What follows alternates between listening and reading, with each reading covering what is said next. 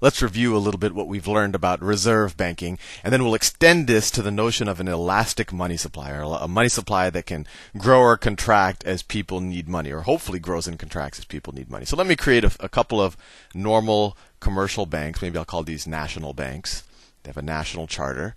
So let's say I have some equity, and part of that equity, most of it is some gold that I initially capitalized the bank with, and then some of it is a building. I'm trying to draw this as neat as possible, but I think you understand my situation. Then I take some gold deposits from whoever, the farmers, after the crop has been harvested. And then offsetting that, I have all of the farmers' deposits. I'll do that in a blue color. So that's one farmer's deposit. That's another farm. Maybe there's only two farmers.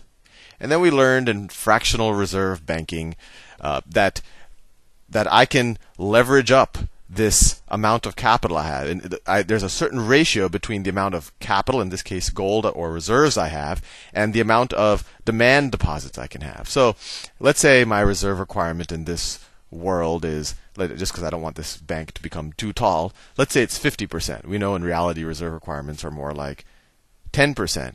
But let me write that down reserve requirement is 50%. So that means that my ratio of gold to demand deposit accounts cannot be any less than 50%. So whatever this amount is, I can double it in terms of demand deposit accounts. And the way I do that, say, see this amount, let's say this is collectively 100. So I could have up to 100. Let's say this is right here, this is 50. So I could have up to 200 in demand deposit accounts. So I can essentially lend out money and create demand deposit accounts. This is all review for you, hopefully. So I could lend out 150. Let me draw that. I could lend out 150. I want to make this neat looking. Those are my liabilities, and then these are my loans and my so that's one loan I make out, and I just create someone's checking account. That's the loan asset, and I create a demand deposit account for them. That's the liability. This here could be a big loan, etc. And then I'm not the only bank in this universe. So let me so let me copy and paste this. Control C, Control V. There, my other bank the universe. I just want to show you that there are multiple banks. Then we said there are a couple of issues with this. Uh, you know, you have a 50% reserve requirement, which is very high. But what if there is a situation where, for whatever reason, your reserves temporarily drop below that 50%? Uh, how do you get that extra gold? You don't want to go to people and say, hey, can I have a little bit more gold? Then they're going to get scared and all pull out of your system.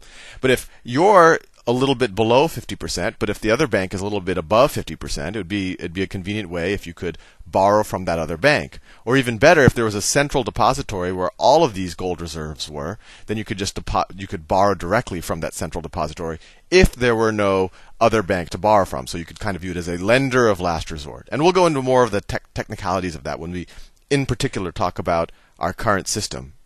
With that said, we created a reserve bank where we put these where we put these deposits.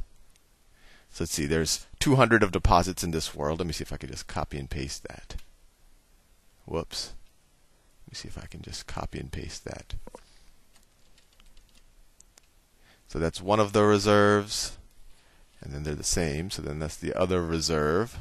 It doesn't look that neat. And you know, all the banks got together and created this. It's a private bank, but we'll go into more details of, of how the actual Federal Reserve works. So those are the actual gold reserves. Those are the assets of that bank. Actually, I should move it over some. That creates a, because that's an asset of this new bank. And let me fill that part in with black. Okay, and then the liabilities for this central reserve bank. Let me draw the liabilities. I'll draw them in red. The liabilities, these are the demand deposit accounts for these nationally chartered banks. So this he took all of his gold, put it here, and so now he has let me to simplify it, he, he has a demand deposit account, but I'll assume that he just got federal uh, not he got reserve notes to show that he had access to this gold. So let's say that this is some let me draw it right. So this is 100 notes outstanding. This part corresponding to 100 gold pieces, and this is another 100. Although notes outstanding, it's it's fungible. You could mix them up because you don't know where they came from or whatever. That's what's different about those relative to a checking account. 100 notes outstanding. And so essentially, this guy gives his gold here, and in exchange, he gets these Federal Reserve notes, which look like green pieces of paper. And now these are actually his reserves. His reserves are no longer gold. His reserves are how much of these Federal Reserve notes he has. And we learned in the last video that only the Federal Reserve, or the Reserve Bank, I haven't called it the Federal Reserve yet, but I think you see where this is going, only they can issue these notes. And these notes are these rectangular green pieces of paper with with faces of presidents on them, etc., etc. And let's say the, the in the government we live in, they kind of sanction, even though this is a officially a private bank, this this reserve bank, the, it's set up in such a way that even though these all of the original banks might have originally capitalized it with some equity, that they really don't get any of the profits of this bank. And I'll go into detail on how the actual Federal Reserve works. But let's just say any surplus profits of this bank actually just go uh, back to the federal government. So the federal government doesn't, uh, these banks don't make any money off of this. And actually, let's say that the board of directors of this bank is actually appointed by the government, et cetera, et cetera. So, the, and, and it's key to the financial system. So what the government says, you know, these notes, sure, it's issued it's issued by this reserve bank, but we want people to have a lot of faith in this currency because this is the currency that we use in our world, in our nation. So, in order for people to have unlimited faith in this currency, we are we are going to make it an obligation of the government. So it's issued by the bank. Let me write that down. This used to confuse me to no end. Issued by the bank. Issued by the Reserve Bank but it's an obligation, obligation of the government, of the government. Now, what does that mean?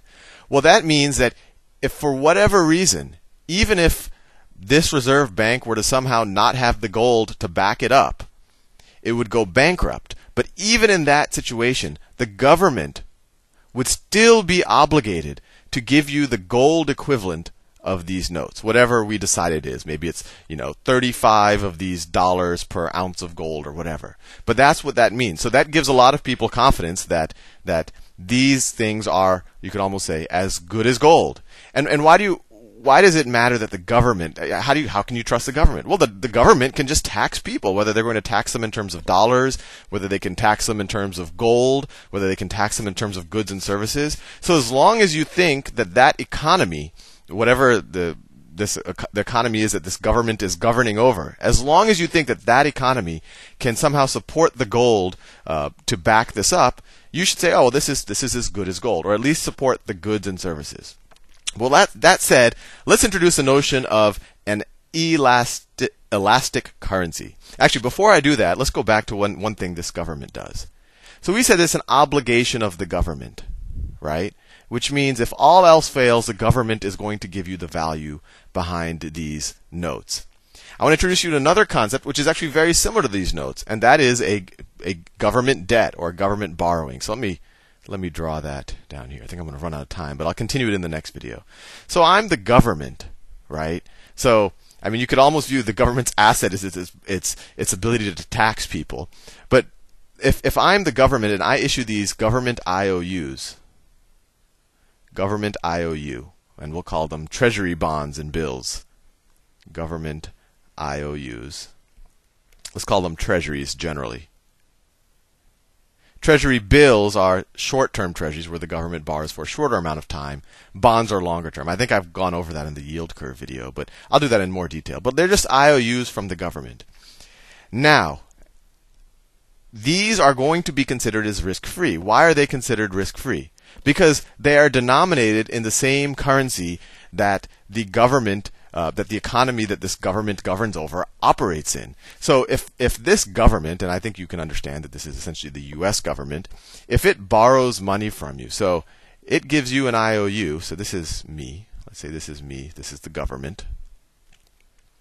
If it gives me this IOU and I give it hundred dollars, if I give it $100 and that's these things, why do I know that this IOU is risk free?